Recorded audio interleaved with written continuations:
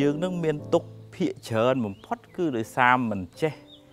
គ្រប់គ្រងចិត្តគ្មានសមត្ថភាពគ្រប់គ្រងចិត្តខ្លួនឯងការងារសំខាន់បំផុតដើម្បីបានសុខដុមរមនាសេចក្តីសុខក្នុងជីវិតហ្នឹងចាំបាច់ម្នាក់ម្នាក់ត្រូវតារៀនអំពីវិធីអប់រំចិត្តគឺការចម្រើននៅស្មារតីហើយស្មារតីហ្នឹងតាមដានចិត្តស្មារតីហ្នឹងคล้ายទៅជាអង្គរៈคล้ายទៅជា កាមេរ៉ាសវត្ថិភាពការពារចិត្ត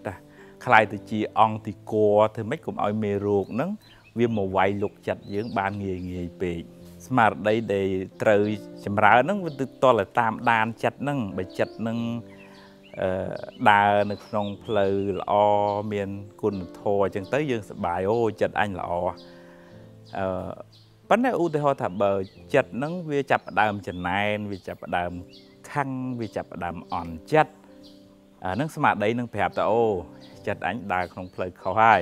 ត្រូវទាញត្រឡប់មកវិញវាឧបមាដូចជាថាយើងដឹកគោឲ្យស៊ីតាមភ្លឺស្រែអញ្ចឹងណាហើយអាគោហ្នឹងវាខូចណាស់តែយើងភ្លេចវាទៅស៊ីសទូងហើយតែយីស៊ីសទូងម្ចាស់គោហ្នឹងត្រូវទាញគោកុំឲ្យស៊ីសទូងគេទៀតកុំឲ្យវាខូចយ៉ាងណាចិត្តយើងហ្នឹងវាខូចវាខូចណាស់វាតិចតិចទៅអន់ចិត្តតិចតិចទៅចំណែនតិចតិចទៅ មិនសบายចិត្តជាមួយអ្នកនេះជាមួយអ្នកនោះចឹងទៅហើយដល់ចឹងតលពេលណាចិត្តនឹងវាមិនល្អហ្នឹងមានស្មារតីដឹងថាអូចិត្តអញដើរផ្លូវខុសហើយបើនិយាយពីបើកឡានវិញឃើញភ្លើងស្តុបក្រហមហើយបើយើងបើកទៅទាំងងងឹលងងុលហ្នឹងបើកឆ្លងកាត់ស្តុបក្រហមហ្នឹងគ្រោះថ្នាក់ទាំងយើងគ្រោះថ្នាក់ទាំងគេប៉ុន្តែបើយើងមានស្មារតីដល់ស្តុបក្រហមយើងជន់ យើងអត់មានគ្រោះថ្នាក់ឯគេក៏អត់មានគ្រោះថ្នាក់ដែរយ៉ាងណាអាចំណែនអាស្អប់អាល្វើល្វាយអាពិបាកចិត្តហ្នឹងជាភ្លើងក្រហម ស្មារតីនឹងប្រាប់ថា ទៅមុខទៀតគ្រោះថ្នាក់ឯងអញ្ចឹងតាមដានចិត្តបង្កើនស្មារតីបើនៅក្នុងធម៌លោកហៅថាសតិប្បដ្ឋានហៅថាហេតុជាទីតាំងនៃការចម្រើនសតិគឺស្មារតីហ្នឹងហើយតាមដាន ទាំងដេកទាំងដើរទាំងឈរអង្គុយទាំងហូបទាំងចុកទាំងចូលបន្ទប់ទឹកទាំងធ្វើអីនិយាយស្ដីកាយវិការអីហ្នឹងមានស្មារតីហើយចិត្តគិតអីហ្នឹងក៏មានស្មារតីទៅជាមួយ